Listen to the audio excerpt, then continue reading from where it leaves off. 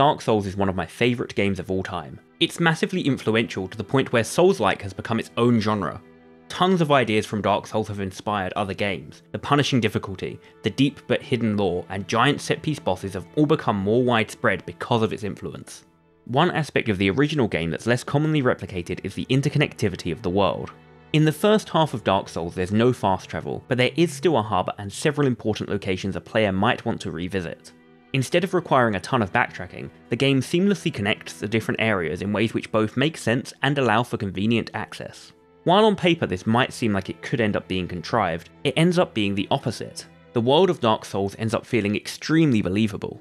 As you walk up the hill from Firelink to Undeadburg, you pass through a sewer. Later on, you visit a sewer below Undeadburg, so it makes complete sense that you end up unlocking a door that leads back to Firelink. At the top of Undeadburg, there's a parish with another shortcut, an elevator down to Firelink Shrine, there's also Darkroot next to the parish, a forest that eventually leads back down to Firelink. The first time I went down that elevator and saw how the area I'd just spent hours crawling through connected back to the hub was the moment I became obsessed with this game. I genuinely don't think I'd be the Dark Souls fan I am if the game was just a set of unconnected linear levels. These all seem like convenient shortcuts, but then you look up at the parish and see the hills surrounding it. You'll notice things like the bridge where you saw a dragon. Maybe you'll wonder what that tower in the distance is, Maybe you'll look down and hold on, what are those pillars? This isn't a comprehensive list, and I could keep going, but you get the point by now. The first half of Dark Souls is full of this kind of world design. Areas which at first feel like separate levels end up coming together to form a cohesive place. Don't worry, I'll get to the second half of the game in a bit. It's not just that this design helps the world to feel more grounded, it's also a huge part of what makes the game so replayable.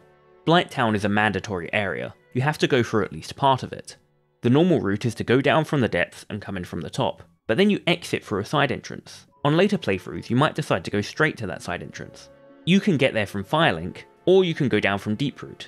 In fact, you can skip the Undeadburg completely. The only mandatory areas in this part of the game are the Undead Parish and Blighttown. The feeling of knowing exactly how all of the areas of Lordran are connected and mapping your way through them is something you don't often find in games, especially ones that aren't Metroidvanias. I know some people do refer to Dark Souls as a Metroidvania, but that's a discussion for another time. This isn't the right video to discuss genre. I think designing the world like this complements the way the story is told. Although there's a ton to speculate about specific characters or the player's place in the story, most of the actual world building is quite concrete. As you learn more about the world, it all starts to make sense and feel like a real place, both geographically and in its writing. The lore being so hidden from a casual player only works because the game makes you invested in the world through its design. These connections between each area get you asking questions. Why is there someone wearing unique armour in the tower that connects Darkroot to Undeadburg? Why are both of the entrances locked? Is he a prisoner? I'm not sure how much most players bother asking these questions, but I do feel like the game points you in that direction by getting you so invested in the world. I'd be lying if I said this design had no issues whatsoever. Firstly, while some of this is locked behind the master key, there's nothing to stop an unsuspecting new player from picking that as their starting item and getting stuck. Even without the master key, the game doesn't stop you from going somewhere you probably shouldn't. I imagine a lot of players gave up with the game because they went to the catacombs or Ash Lake far too early and got stuck in an area they were massively underleveled for.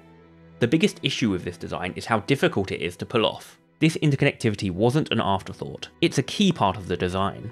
Illusory Wall has a video showcasing some early prototypes for maps, and you can see that this idea was baked in from the very beginning. It's clear that this design choice took a lot of time and effort. It's understandable that most developers just don't bother and add fast travel instead.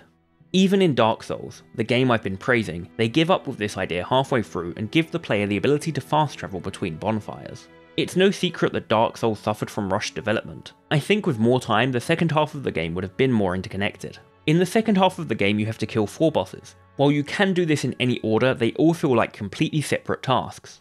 Each boss is at the end of their own level, and the only connection to any other part of the map is the entrance to that area. There are some superficial connections. For example, you can see the demon ruins from the Tomb of the Giants, but there's no physical connection. Even though you can see it, to get there you'd have to go up through the catacombs, back to Firelink, down to Blighttown, and to the demon ruins by the normal route. Don't get me wrong, I do still like the second half of Dark Souls, I just think the world design is inferior. Exploring the world in the first half of Dark Souls is an amazing experience. I don't think I've seen a world as deeply interconnected in any other game I've played. It makes me wish more games experimented with not having fast travel. Having to design around this limitation meant that FromSoft had to put real care into how the world was laid out. The only other FromSoft game I've put a significant amount of time into is Elden Ring, so it's possible their other games do this as well. I skipped the rest of the games when they came out, but replaying Dark Souls has made me think that it's time to give them a proper go. I'm not sure if I'll make videos on them, but if you are interested in my thoughts on Dark Souls 2 as a massive fan of the first game, let me know. Thanks for watching. If you enjoyed this video, consider subscribing, it really helps me out. I'll see you next time. Thank you.